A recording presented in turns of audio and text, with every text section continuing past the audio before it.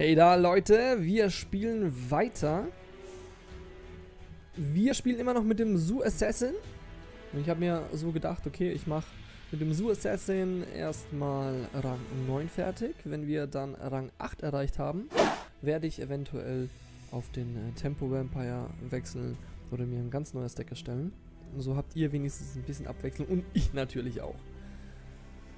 So, das heißt, wir spielen mit dem Zoo Assassin einfach mal eiskalt weiter und äh, ich switche direkt mal ins Spiel.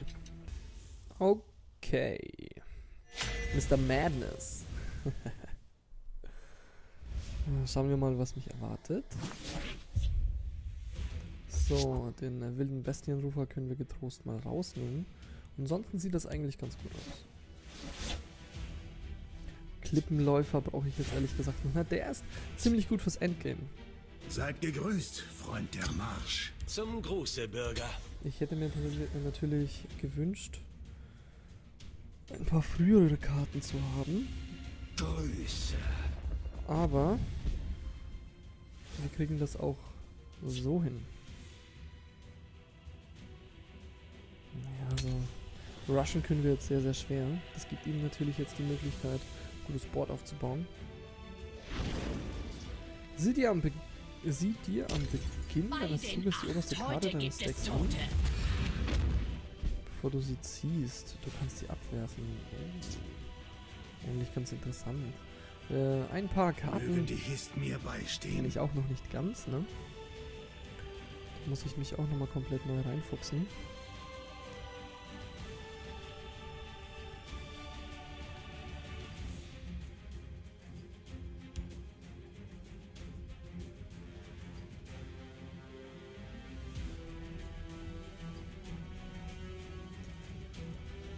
Wir spielen den Hausgenossen natürlich links. Der bringt mir nichts, wenn er dann recht zügig getötet wird. Müssen wir natürlich gucken, dass wir Druck aufbauen. Wenn er jetzt etwas anfängt, Schaden zu machen. Es ist okay. Es ist okay, wir Bitte ziehen nur ein den paar Karten nach. Damit kann ich leben. Ich muss aber dafür sorgen, dass ich immer mehr Leben habe als er. Das wäre schon mal wichtig. Das könnte ich jetzt eigentlich auch erreichen damit. Viel zu Also ich greife schon mal an, schon habe ich etwas mehr. Und würde die königliche Weise auch jetzt dezent mal spielen. Wie ich sehe, benötigt ihr meine Schutzzauber, durchbrechen. Schutzzauber ist schon mal richtig gut. Dann wird er nicht mal so schnell erledigt. Gut gemacht. Dass seine Kreaturen leben, äh, damit müssen wir selber jetzt erstmal leben. Will einfach nur mal gucken, ob wir es schaffen, schneller Schaden zu machen als er. Könnte funktionieren. Ich meine, wir haben ganz viele äh, Sturmangriff-Kreaturen. Was heißt ganz viele? Wir haben welche. Damit könnte es schon klappen. Und außerdem haben wir noch die kreisende Harpie, damit können wir ein paar von denen immer mal holen. Das ist dann äh, schon ganz in Ordnung. Rasenbetrieb verboten. So. Das sieht schon mal gut aus. Äh, ich greife mal mit ihm hier an. Ihr entkommt mir nicht. Und greife hier auch an, auch wenn er jetzt Karten zieht ohne Ende. Das heißt ja nicht, dass er sie ausspielen kann.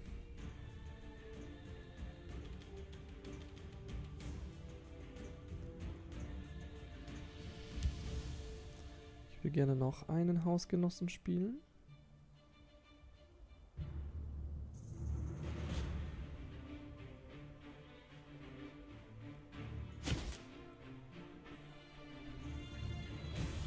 Ich könnte auch jetzt erst etwas mehr Druck aufbauen.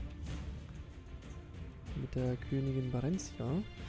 Dann kann ich halt eben nur eine Karte spielen und das äh, finde ich halt persönlich doof. Den Hausgenossen spielen jetzt mal. Und die kreischende Harpie, um den etwas aufzuhalten. So, jetzt kann er sich wieder aussuchen, ob er die Karte behalten möchte oder nicht. Wir haben dann schon ganz gut... Wir, wir haben schon ganz gut die Möglichkeit, jetzt Schaden zu machen. So, meine Freundin macht wieder im Hintergrund Radau.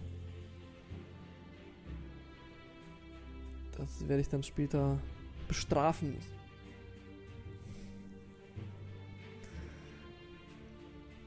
Wir könnten dann in der nächsten Runde die Königin Ihr Valencia spielen. Jetzt einen starken Arm. Und dann auch den äh, Grammfester Verräter. Jetzt versucht er natürlich links auch etwas Board aufzubauen. Weil er Angst hat.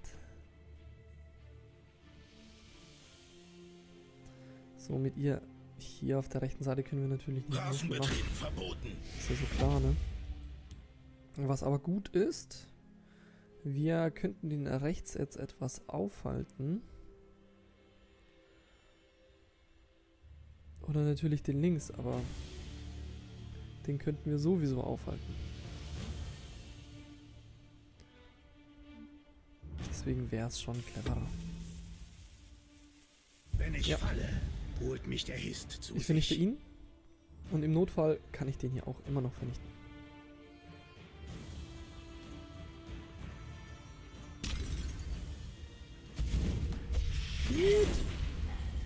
Damit habe ich nicht gerechnet. Damit habe ich wahrlich nicht gerechnet. Okay. Wie viel Schaden können wir denn gerade machen? Na, 7, 10, 12. Dann äh, 16.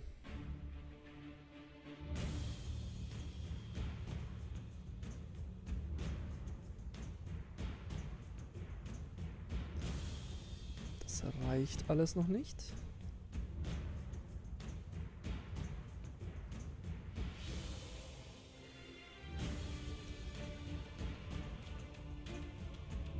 Ich würde sagen, ich mache hier ein paar Sachen.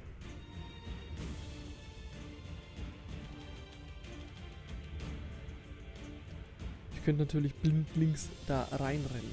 Und er kann mir auch nicht so viel Schaden machen. Was aber ich sehr gefährlich finde. Viel zu Okay, wir machen das so. Viel zu einfach. Gehe ich hier rein. Mach da erstmal ein bisschen Schaden. Mach so hier noch ein bisschen Schaden. Und spiele die Königin Valencia. Und zudem den Natürlich Grabenfeste stehe ich auf Verräter. Seite. Der ist dann erstmal im Schatten. Also kann er, muss er von beiden Seiten erstmal gucken, was er machen kann.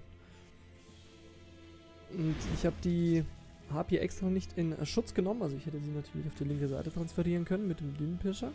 Wollte ich aber nicht, weil ich ihn eher darauf locken wollte, ja, die Kreatur zu töten. So blöd es auch klingt, aber dann geht er wenigstens nicht ins Gesicht. Aber mit 6 Mana oder 7, er hat ja durch den, durch den Ring hat er 7. So viele Möglichkeiten gibt es da nicht. Was er machen kann, was sehr, sehr bitter wäre, was sie auch töten würde, wäre dieser Eissturm. Der Eissturm äh, fügt nämlich allen Kreaturen drei Schaden zu. Ihm kann es eigentlich total egal sein, aber bei mir wäre es echt schlimm. Mein Überleben würden immer noch die zwei. In diesem alten Ding steckt noch Und dadurch, dass die zwei überleben würden, könnte ich einen Klippenläufer oder einen Schlag anwenden und dann würde es auch nicht gehen. Okay, was macht er für krasse Kombis? Okay, brutal.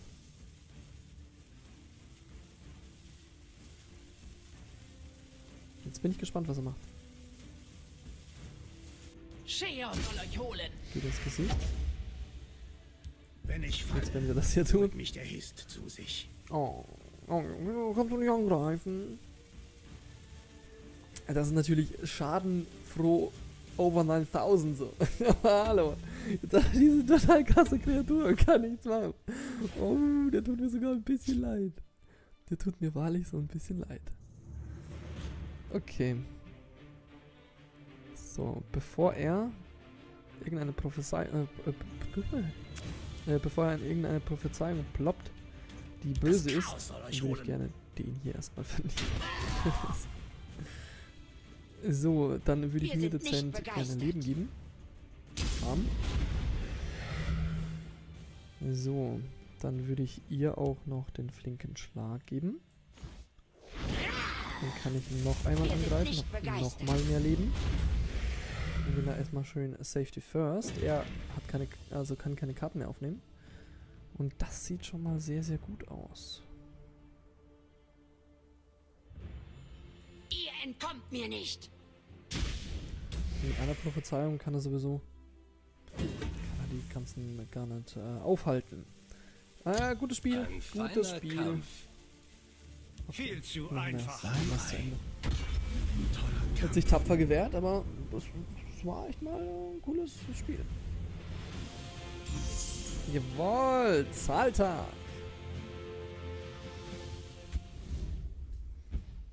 Okay, Leute. Wir haben es fast geschafft. Noch ein paar Spielchen. Und dann äh, switche ich auch mal das Deck. Aber ich hoffe, es macht euch trotzdem Spaß, auch bei diesem Deck mal zuzugucken. Oh, das ist eine ganz neue Karte, die habe ich noch gar nicht. Oder doch, ich glaube, ich habe sie einmal.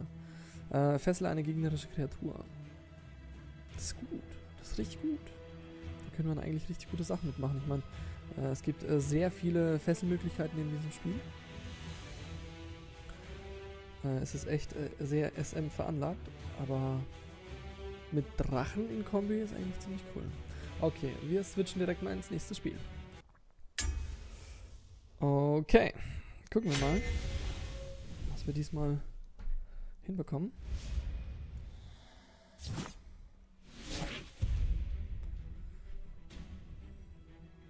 Okay, den Krippenläufer, den nehme ich mal nicht mit. Den tapferen Beutelschneider. Den könnten wir nehmen. Königliche Weise ist für den Anfang auch echt gar nicht dämlich, muss ich sagen. Aber, wie ich schon immer ganz gerne sage, macht, auch, auch wenn es gut aussieht, macht's erstmal weg und hofft auf äh, niedrige Karten. Und äh, was bekomme ich? Natürlich eine 6er.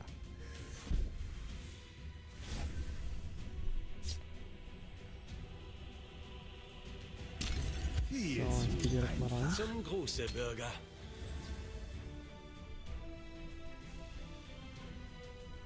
Wenn ich falle, holt mich der Hist zu sich. Der wird eigentlich immer aufgehalten, der Beutelschneider. Immer. Wenn Okay, ich falle, dann muss holt mich der ich Hist äh, zu sich. seine Karte mit meiner eigenen Karte aufhalten. Der Beutelschneider ist es schon wert. Ich meine, wenn er stärker wird, und dann wird er immer schwerer aufzuhalten sein, natürlich. Tödlich, Beschwörung, fessle eine gegnerische Kreatur in dieser Reihe. Das ist ja eine affengeile Karte, die habe ich ja noch gar nicht entdeckt. Die wurde bisher bei mir noch nicht gespielt. Tödlich und fesseln. Leute, wieso benutze ich dann immer noch diese Abier? Hä? Ah, shit. Äh. Da könnte ich eigentlich die Karte richtig geil in mein Deck einbauen. Wow, Leute, Su 2.0. Ich sehe es schon kommen. Also der hat äh, vorhin ziemlich Angst, merke ich. Heute Dann switchen wir mal auf die andere Seite. Können halt jetzt leider nicht äh, angreifen, aber er ist schon mal einen Tick stärker.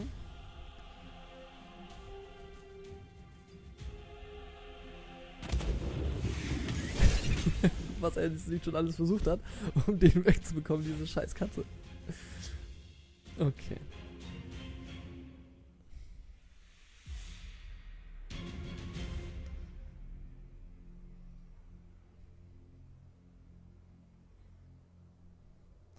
Ja, die Königin, Königin Barencia, die will ich lieber erst spielen, wenn ich mehr Karten auf dem Board habe und die schwieriger aufzuhalten ist.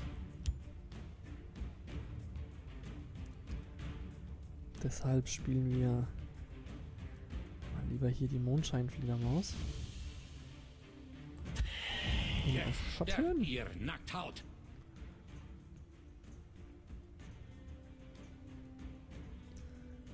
So, wir müssen gucken, dass wir Schaden machen.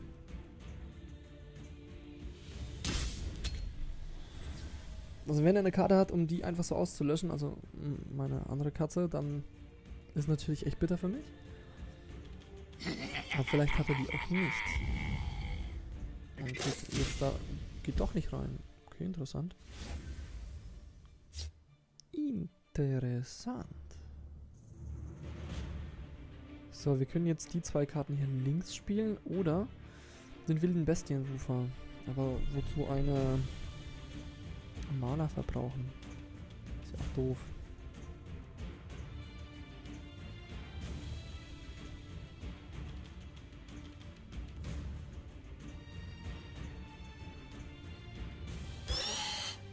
Wir gehen rein. So gefährlich sind seine Karten auch wieder nicht. Dass ich da jetzt äh, so viel versuchen muss, um ihn aufzuhalten. Da würde ich doch lieber wie die zwei. Mans spielen. Und da darf er jetzt erstmal glotzen. Natürlich wird er die zwei jetzt erstmal entfernen. Das ist ja klar. Aber hier können wir dann links weiter angreifen und haben in der nächsten Runde die Möglichkeit, wilde Bestien zu spielen. Das ist gut. Der will den hier natürlich behalten. Das ist mir sowieso klar. Okay. Er baut gut was auf. Die Karte ist echt äh, gefährlich.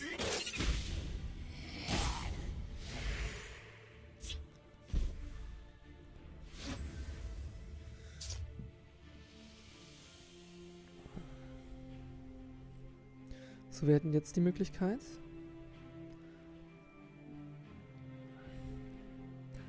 Möglichkeiten sind beschissen. Okay, ein bisschen was gibt es schon. Damit habt ihr nicht gerechnet, was? wir gehen erstmal straight rein und spielen. Also ich hatte mir eigentlich, also mein Grundgedanke war, den Verräter da erstmal rein zu schicken und dann die Königin Marenzia. Das wäre natürlich auch eine Möglichkeit. Er würde dann eine von denen auf jeden Fall töten, also die hier auf jeden Fall, weil er dann eine Karte bekommt. Und dann hätte er zwei und einen Wächter. Den hier kann er nicht töten. Dann müsste ich da auf jeden Fall reingehen, also in den anderen reingehen und dann wäre die auch tot. Aber ich hätte die Königin Barencia und könnte trotzdem Schaden machen. Das wäre natürlich echt toll.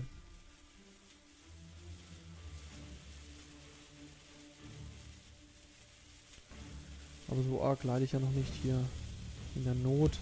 Deswegen äh, spielen wir erstmal Wilder Bestienrufer. Vielleicht kriegen wir ja was Gescheites.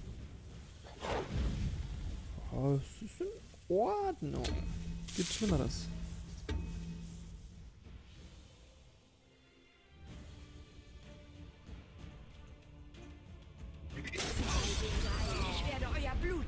So wie ich es prophezeit habe. Das ist. Das ist halt so eine Karte, die müsste man schon aufhalten. Dann er nervt damit ziemlich. Okay, wie jetzt? Jetzt haben wir so einen Gegner bekommen, der halt ständig innovative Kreaturen von uns fesselt. Das macht das sehr, sehr schwer.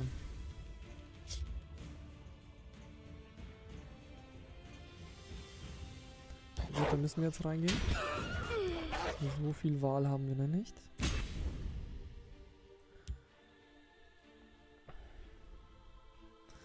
So, dann würde ich sagen, auf Stammfester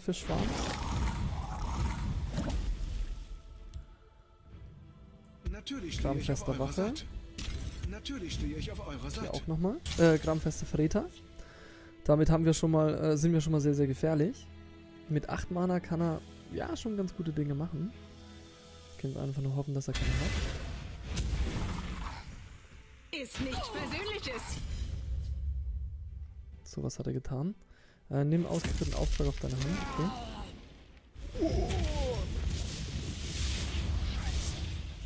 Das ist jetzt richtig blöd. Das ist jetzt richtig blöd. Damit kann er halt Schaden machen, ist fuck, ne? Hm, den würde ich auf jeden Fall aufs, äh, aufs Feld bringen, weil er natürlich drei Angriff hat. Und da schiebe ich die hier einfach rüber und kann äh, von links halt einfach nochmal Schaden machen oder die hier aufhalten. Also mehrere Möglichkeiten. Okay. Beim Ei. Ein toller Kampf. Es wäre natürlich schön gewesen, hätte ich jetzt noch eine Sprintkreatur, also eine Sturmangriff-Kreatur gehabt. Okay. Damit Also, habt ihr nicht gerechnet, was? Versuchen wir mal unser Glück. Gehen wir hier rein. Damit habt ihr nicht gerechnet, was? So, okay, eine Prophezeiung, die kann uns natürlich jetzt aufhalten. Also, jawohl, kann er aber nicht. Kann er aber nicht. Ein feiner Kampf. So, jetzt ganz vorsichtig. Okay. Hier auch. Bam, hat genau gereicht. Dieser eine scheiß Wolf hat uns echt das Fell gerettet. Ich glaub's nicht. Ich glaub's nicht. Voll geil. Richtig cool. Hier voll Spaß gemacht. Also wir klettern richtig gut hinauf. Ähm, dauert nicht mal lang und dann haben wir es eigentlich äh, schon ziemlich erreicht. Also wir sind schon im äh, Nacken angekommen. so, ich hoffe, äh, das äh, Match hat euch, äh, also das Video hat euch echt Spaß gemacht. Schaltet gerne beim nächsten Mal wieder ein. Demnächst kommen, wie gesagt, ganz versprochen, neue Decks. So, lasst mir doch einen Daumen nach oben. Ich würde mich mega drüber freuen. Ansonsten äh, spricht mit mir über die Kommentare. Und äh, wir sehen uns im nächsten Video. Euer LineTube.